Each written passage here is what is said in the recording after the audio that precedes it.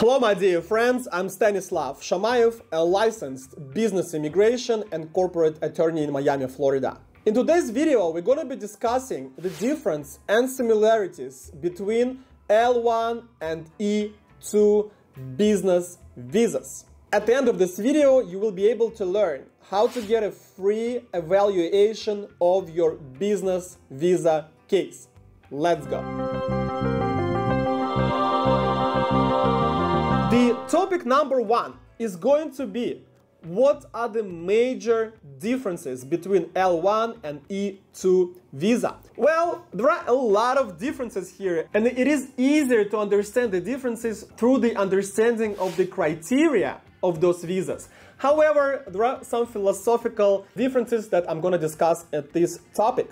So, the major difference is that L1 visa is for those of you who control and direct the personnel in your or somebody else company. So L1 focuses on what position you are taking in the company for the purpose of transferring you to the US, to the startup company or to the existing company in the position of executive or the manager. So someone who is controlling and directing other people. Okay? So that's what L1 visa is about.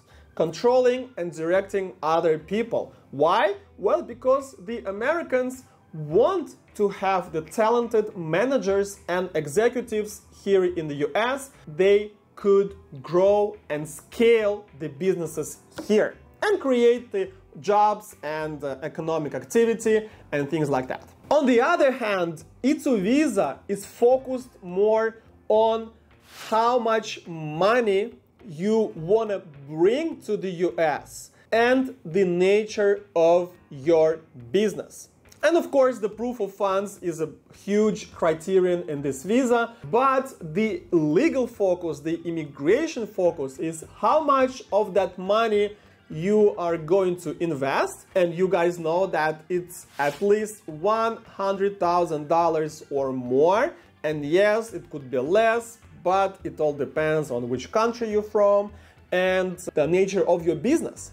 Okay? And yes, it also has the criterion of marginality, which encompasses the jobs that you create and the profitability of your business. But again, at the first step, for the purpose of approval this visa, the amount of money and the nature of your business is more important. Topic number two, Stanislav, why do I want to bring my business to the US? While I've been working in my profession for years and years, it's my ninth year of uh, uh, directing and controlling my own corporation, I've learned that I do not have to sell the uh, immigration to the US or non-immigrant visas and L1 and E2 are non-immigrant visas for this purpose because everybody knows that the US is the best country in the world and I know you guys may argue and say hey the happiness index in Norway and Denmark are the great countries and I do agree. They are great countries for the Norwegians and people who live in Denmark and who were born there, but not for the immigrants. Okay? Not for the immigrants, guys. The United States is the only country in the world. I can't even count more than 40 countries in the world. It's the only country in the world where you, the first generation of immigrants coming to the US, will become Americans. Never ever in France, in Great Britain, in Germany, in Portugal, in Spain, no other country, Western Hemisphere, or any other country in Africa and Asia or anywhere else, you will never become the people who will be recognized as the citizens of those countries with all the rights and, and full love and respect to you. And you guys know it too. Here, you will be able to make America whole. No other country will give you this opportunity. Even the second generation of the immigrants in some countries don't find themselves home. So, and you know it, the economic power of this country, the financial system, the banking system, the credit system, the non-discriminatory laws, they are the top notch and it's the best place to do the business because the government not only interferes with your business but also supports it. I know it because I'm doing business here and I know it because a lot of my clients from more than 50 countries in the world are doing businesses here and I don't know a single person who got a talent visa, L1 visa, business, investment visa who failed, provided that they put the effort and their time. Of course, that's the universal. You have to put your effort and your time and, of course, money when you start a business. Those are the major reasons why uh, I think the States is the best country, plus the consumers. This is the culture of consumerism, and people want to buy the services, the goods. And now is the best time to come in. Why? Because the economy is uh, in a little bit on a downtrend. Everybody knows that you need to buy assets when there's blood on the street. And now there's blood on the street, so it's the best time to start accumulating your resources to do the business when things will become better. Now, what do we need to file L1 visa successfully? And then we're going to be talking about E2 visa. So for L1 visa, I want you to have the business or work in somebody else's business with at least 15 employees under your control. And I want to have three to four managers and 10, 11, 12 subordinates to those managers. And this company is affiliated with a startup company, with a new company in the US or with the existing business in the US through the common control. So the same person or persons control both companies. It could be you, it could be your boss, it could be one company controlling the other company. Doesn't really matter as long as these are the same people or person who control both companies. And also, if it's a new company, I want to see at least five people under your control at the end of year one of you being in the US that's when you open up a new business.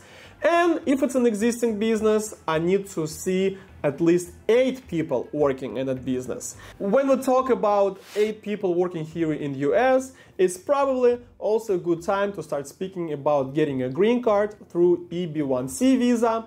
E2 visa is a little bit different. You don't have to have a company outside of the States.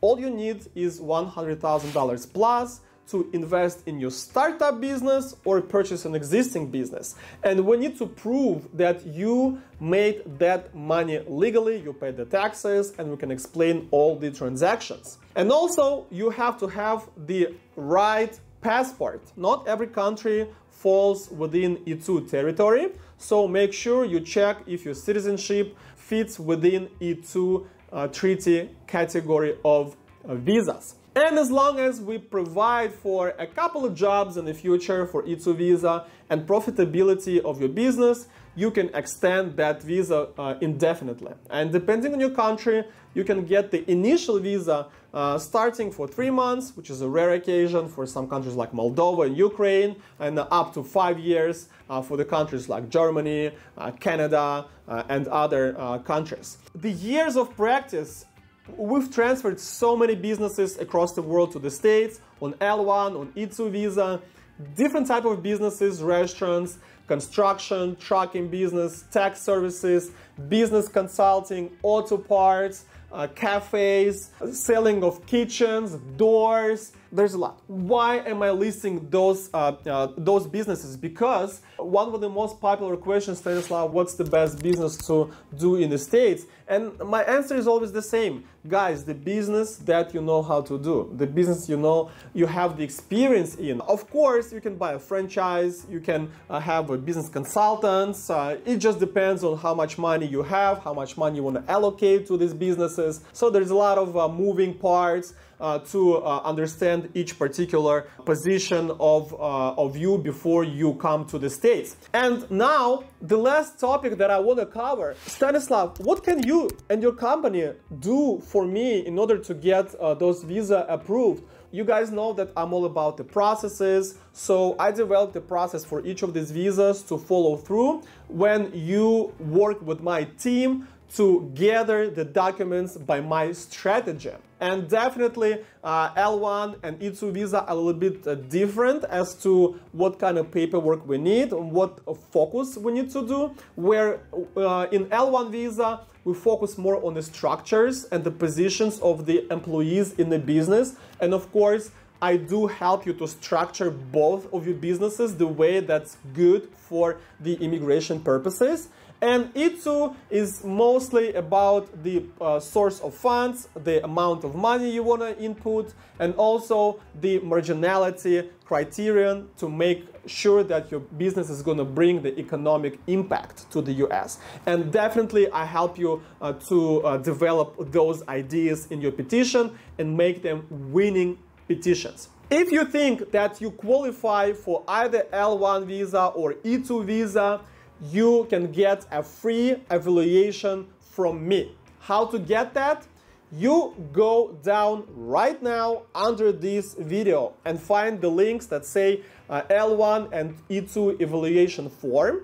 You click on that link, you fill out the questionnaire in detail. Give me as much detail as you can and within 48 hours I will get back to you with initial qualification, initial analysis of your case and I will tell you which visa is good, which criteria we cover, and if you have the potential for your future petition. And if you do, I will invite you to the complex immigration planning where I will develop the written winning strategy for your case, which will be used in the executive and the strategy department in my company when you start working with us. Please make sure you smash that like button because you like my content and appreciate my time and also wants to give me some love and write comments and questions under this video. I'll definitely get back to you. And also subscribe to my YouTube if you have not, to my Instagram, to my TikTok, to my Facebook, to my Twitter, because I post different content on those platforms which does not cross. I am Stanislav Shamayev, a lawyer of the future. Your future begins here. Good luck.